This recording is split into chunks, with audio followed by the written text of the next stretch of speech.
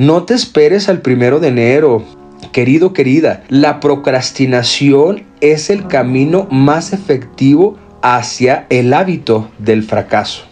Cuando inicies algo, no te detengas aunque el cielo se caiga. Si estás tomando la decisión de dejar una relación, de superar a una persona, de mejorar la relación que tienes contigo, de iniciar un nuevo emprendimiento, soltar una relación, una vez que lo inicies, continúa aunque el cielo se caiga. Ser una persona que inicia algo, pero no lo termina, produce el hábito del fracaso.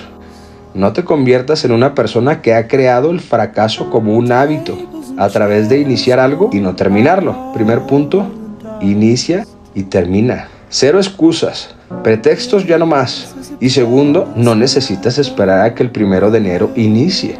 Hay ciertas cosas en tu vida que si te esperas para el primero de enero, va a ser muy tarde. Hay personas que necesitas soltar. Hábitos destructivos que necesitas cambiar. Alguna persona que no necesitas llevar contigo al siguiente capítulo. Y amistades que necesitas dejar ir. Hay ciertas áreas de tu vida que necesitas cambiar. Empezar hoy, no el primero de enero porque el primero de enero va a ser muy tarde.